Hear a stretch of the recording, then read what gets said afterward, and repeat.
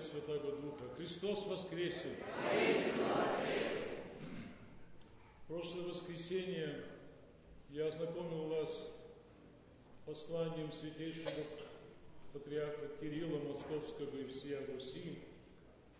И сегодня мне полагается по таким неписанным правилам церкви огласить послание нашего первого иерарха, митрополита Илариона.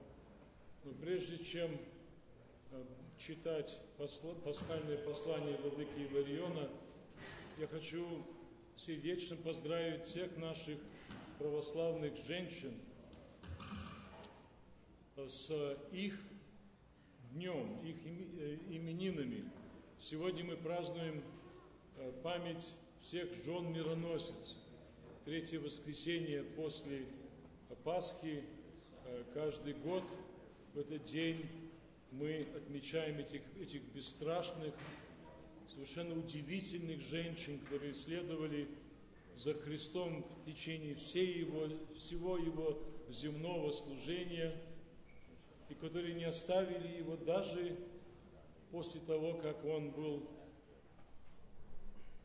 распят и заслужили первыми узнать о светлом Христовом воскресении. И они стали своего рода апостолами для апостолов. Это удивительно, если так подумать.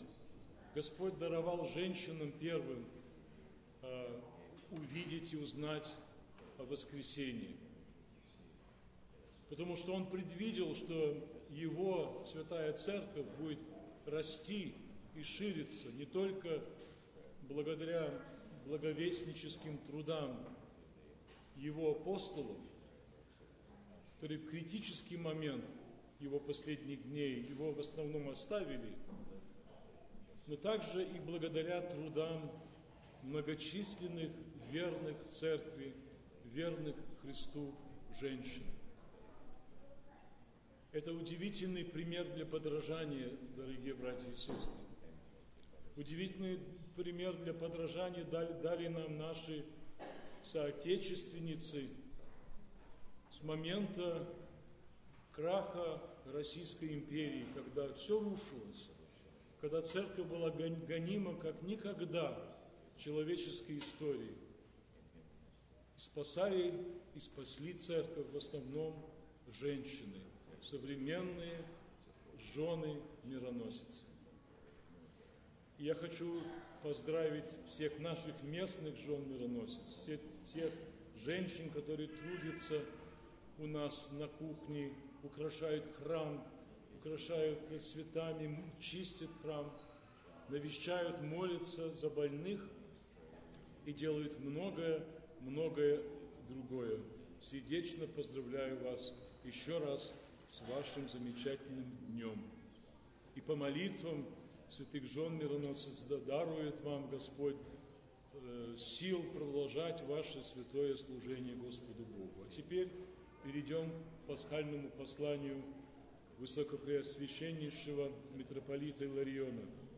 Собратья, архипастыри, всечестные отцы, дорогие Господи, братья и сестры, с добрым сердцем исполненным чувств пасхального ликования, поздравляю преосвященных архиереев, духовенства, монашествующих прихожан и э, богомольцев наших приходских церквей, рассеянных по всему свету, с радостным торжеством славного Христового воскресения и приветствую всех ангельским благовестием «Христос воскресе!» приветствую всех вас этими священными, вечно жизненными словами христианской радости. Шлю всем молитвенное пожелание пасхального богообщения, мира душевного, крепкого здравия, бодрого настроения, благоденствия, многих милостей и благословений Божьих.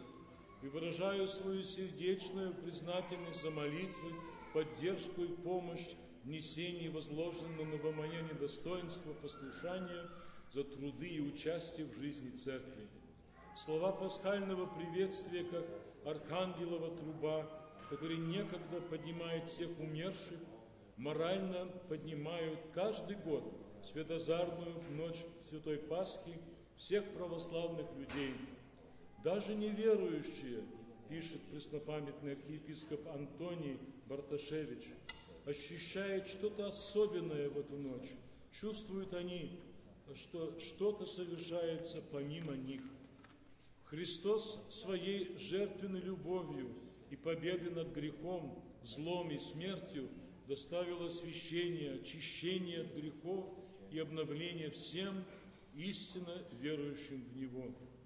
Благоговейно приобщаясь Ему в таинстве Евхаристии, на этом пире веры, на который зовет всех нас великий Златоуст, будем искать силы ходить в обновленной жизни, быть мертвыми для греха, живыми же для Бога и во Христе Иисусе, как пишет апостол Павел. Ныне Господь ожидает от нас этого обновления, а таинственные силы для этого благодать на благодать подаются при изобилии благ, духовных благ во Христе. К этому обновлению призывает всех нас своим примером святитель Тихон, всероссийский патриарх-исповедник, сто лет тому назад смиренно восприняв патриаршее служение, мужественно возглавивший шествие на русскую Голгофу многомиллионного сонма жертв одушевленных, новомучеников и исповедников российских, являющихся нашим общим сокровищем и семенем возрождения Церкви Православной.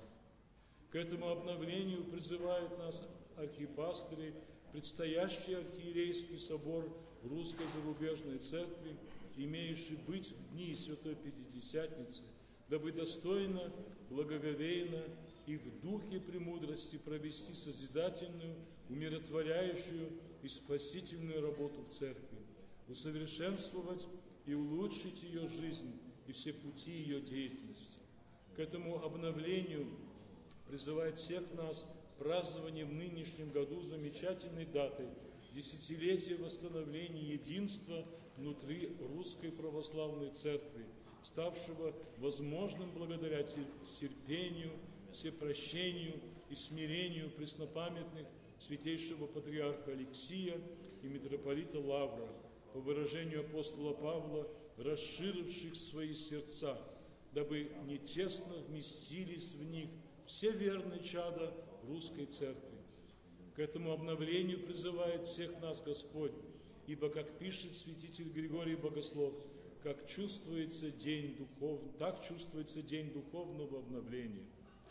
Да пронесется от сердца к сердцу по всему нашему рассеянию, как веяние Пасхи чистительной, совесть, труды и жизнь нашу очищающая и освящающая, вот этот призыв тридневно восставшего человеколюбца Бога, чтобы в жизни церковной, общественной, семейной и личной чистым сердцем его славить. Аминь.